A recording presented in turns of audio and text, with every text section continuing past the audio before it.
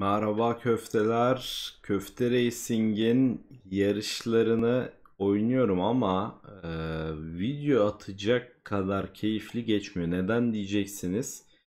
Köfte Racing sonuçta kariyer modu daha önce izleyenler de bilir. E, kariyer modu gibi bir şey ve takım tamamen yeni olduğu için sadece Williams'la kapışabilecek bir seviyedeyiz. O yüzden ben yarışları özet olarak gösteriyorum. Şimdi İlk yarış Avustralya'daydı.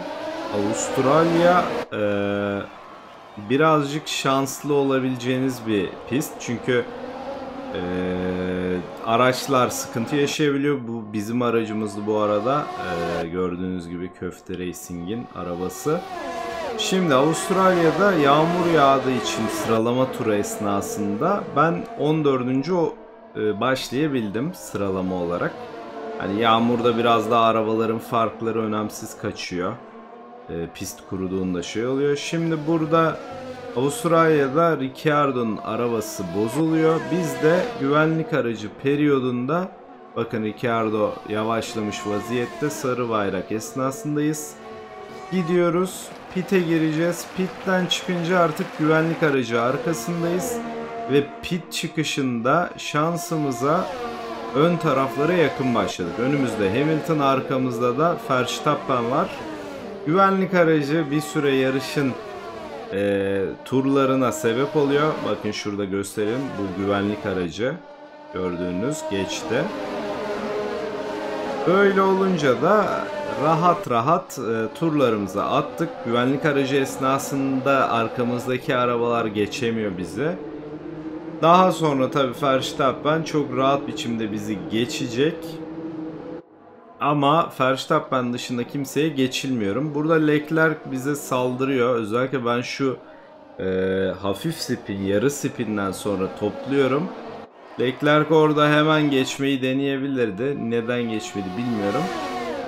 E, Ferrari ile kapışıyor gibi gözüküyor bizim arabamız ama öyle bir şey yok. Ben IRS'i biriktirmiştim. Daha sonra Leclerc orada bir sanırım bizim tampona falan değiyor. O yüzden bir pite gidiyor. Ve e, arkamızdaki Racing Point'i başarılı biçimde savunup bakın böyle içeriye alıyorum. Mecburen devam ediyor. Hava da biraz kapanmaya başlıyor. Hatta biraz daha yarış uzun olsa yağmur da gelecekmiş. Bu şekilde e, iyi bir sonuç alıyoruz. Puan içinde bir sonuç alıyoruz. Yedincilik almıştım. Yanlış bilmiyorsam. Ama tek sebebi dediğim gibi e, hem 14. başlamak hem de güvenlik aracı sırasında pitten iyi bir noktada çıkmak. Ee, yoksa arabamız yerlerde sürünüyor. Yani tek yani bu yarış bile izlenecek bir tarafı yoktu. Çünkü 5 tur güvenlik aracı arkasındaydı. İkinci yarış Bahreyn'de. Bahreyn sevdiğim bir pist. Ama yani e, sıralama turu ve e, şeyleri geçtim. Antrenman turlarına. 22. sırada başladığım yarışı 16 bitirdim. Fena değildi. Zevkliydi bu yarış. Geçişleri göstereceğim. Hele bir yer var. Bir anda iki arabayı birden geçiyorum. Baya efsane güzel. Ee, bakalım şimdi başlangıçta ta en arkadayız. Mercedesler ve Ferrari'ler sonra Red Bull'lar şeklinde. Ee, biz de en arkalardayız takım arkadaşımla birlikte. Takım arkadaşım nedense burada ben biraz zorlayarak birkaç pozisyon alıyorum dıştan. Bakın şu dıştaki benim. Evet şimdi devam ediyoruz. Bu benim. Arabamız da çok fiyakalı köfte racing'in. Beğendiyseniz yorumlara yazabilirsiniz. Ya da abi rengi değiştir falan değiştirebiliyoruz. Takım arkadaşım arkama yapışıyor ve burnu kaybediyor. O yüzden erkenden pite girmesi gerekecek. Ben şimdi Raikkonen'le e, takip ediyorum yanlış bilmiyorsam. Evet bakın burada Raikkonen geçiş yaparken e, Williams aracını. Biz hem Williams'ı hem de Raikkonen'i böyle çapraz bir geçiş yapıyoruz bakın orada. Hop yavaş yavaş görelim. Yavaş yavaş. Hop araya giriyorum. Sonra da Bahreyn'in start finishinde böyle çok sert bir U dönüşü var. Orayı cayır cayır geçiyorum. Bu da güzel bir enstantane. Kaskımızda şekilmiş. 70. yıl kaskı. Sonra Raikkonen bizi bir geçiyor. Hatta biraz da deyip beni zor durumda da bırakıyor. Ama ben onu e, yavaş yavaş IRS'imi biriktirerek yaklaşıyorum. Dediğim gibi sevdiğim tarzda bir pist olduğu için çok rahat geçişimi hallettim. Şimdi arkada da Giovinazzi var. İki Alfa Romeo arasında kalmışım ama devamında Raikkonen'e yaklaşıp yaklaşıp geçişimi yaptım. Şimdi e, şeye atak yapıyorum. Aslardan Grosjean'a. Grosjean'ı böyle bir geçişle avlamışım. Baya zor geçtim bu arada bunu. Yani hani böyle bitiriyoruz ama 16. falan bitiyor. Çok iyi bir bitiş değil. Yani puan o ilk 10 içinde alınıyor. İlk yarışta şansa dediğim gibi biraz puan aldık. Şimdi Hanoi'ye gideceğiz. Hanoi'de büyük hayal kırıklığı yaşadım. Yani bütün antrenmanları yaptım çünkü hiç bilmediğim bir pist. Ee, çok da zor bir pist. Duvarlar var, çarpabiliyorsunuz. Çok rahat ön kanadı kırabiliyorsunuz falan. Ama yani e, ayıp be. Hiç araba gelişmemiş. Yeni parça gelmişti güya. Göstereceğim. Başka bir parçadan da umutluyduk. Parçayı bozmuşlar. Yani takımın gelişmesinden hiç memnun değilim. Köfte Racing'e biraz yorumlarla destek olun da gelişsin azıcık ya. Bu nedir durumu? 3 yarışta hani ben kariyer modunu o yüzden oynamıyormuşum demek ki eski oyunlarda da. Ama en azından e, takımlar oturmuş takımlara binince Alfa Romeo'da falan hani böyle e, ilk 10 içinde pozisyonlar kovalanabiliyor. Bakın e, şimdi ilk dönüş inanılmaz bir karmaşa. E, şansa da kimse de hani güvenlik aracı sokmadı bu yarışta. Bu yarış tam bir e, kaos yarışı. Çünkü bariyerler gördüğünüz gibi çok yakın. Hiç şey yapamıyorum. E, diğer arabalara yaklaşamıyorum. Orada bir içeriden hafif dokunuşla geçtim. Tekrar aldım pozisyonumu. Buralarda 17.yim. Yani 19 başlamıştım sıralama turunda. Bayağı uğraştım bu arada dediğim gibi. Pisti öğrendim, dönüşleri öğrendim. Yani bak burada zorluyorum azıcık. Grosjean'ı zorluya zorluya geçtik. Sonra geri geçmeye başlıyorlar. Şimdi bakın Alfa Romeo Gazli var önümde. Alfa Tauri var. Gözüküyor zaten Alfa Tauri. Peşindeyim. Ama arabamız bir türlü yetişemiyor Alfa Tauri'ye. En sonunda da Haas beni geçiyor bak. Haas da bizden hızlı. Dibimden dibimden geliyor geliyor. Geçiş zorluyor. En son Williams'a kadar düşmüşüz. Pitlerin çıkışı bunu hatırlıyorum. Şimdi pitte Williams'ın pit stopu nasıl o kadar hızlıysa gerçekte de hızlı. Geçiyor ama içten burada güzel bir zaten size pek bir şey gösteremedik.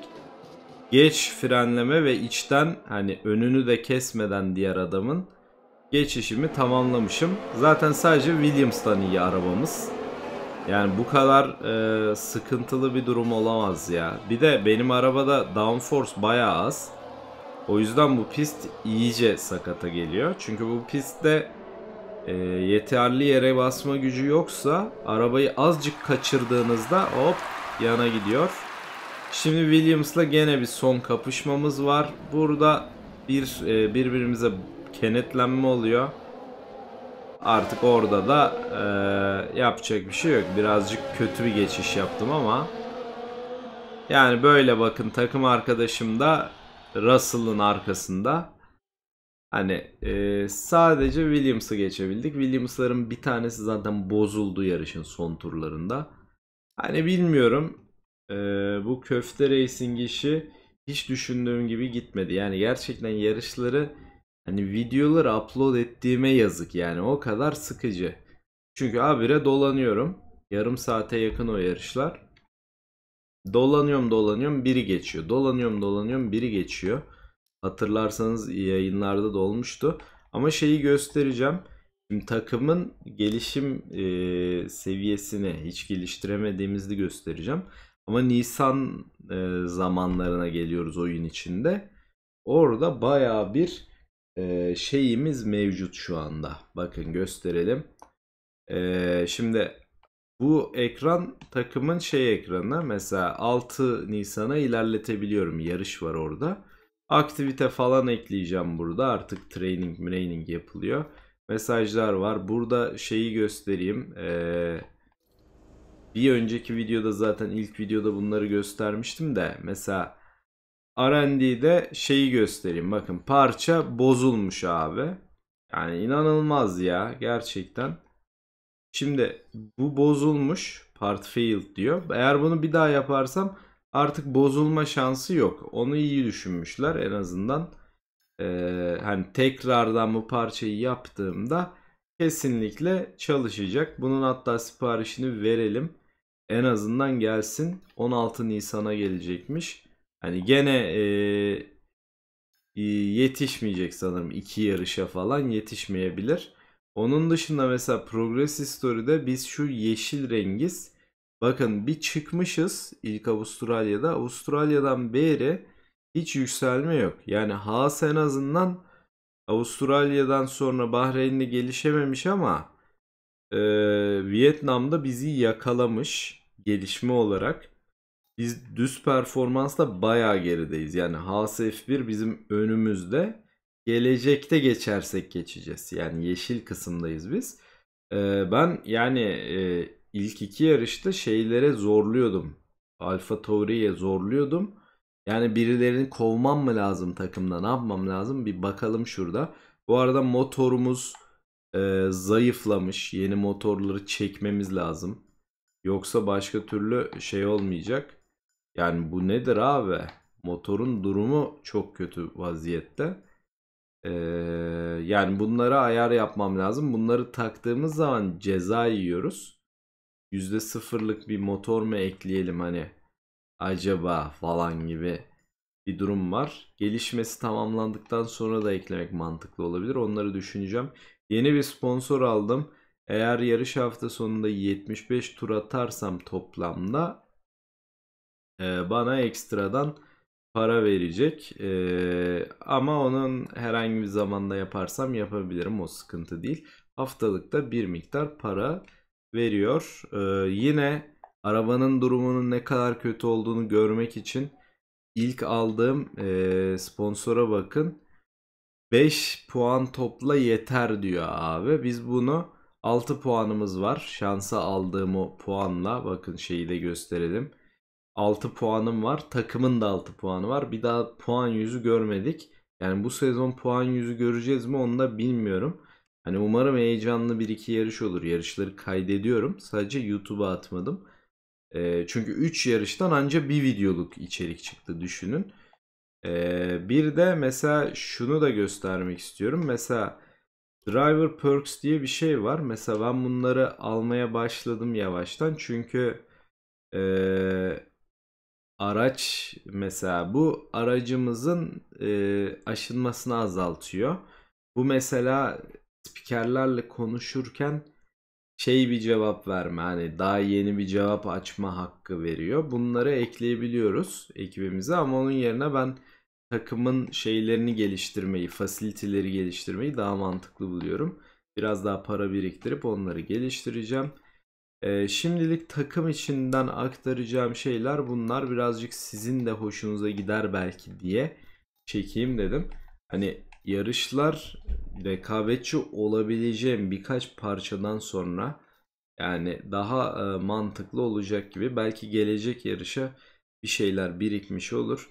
Ben bunları ayarlayacağım. E, sizi de haberdar edeceğim Köfte Racing hakkında daha fazla görüntü olsun. Burada bu arada kafam var diye göremiyor olabilirsiniz. Bu takvim yani sağdaki etkinlikleri buraya yerleştiriyorsun. Ee, ondan sonra da diyorsun ki şu ekrandan yarışa git.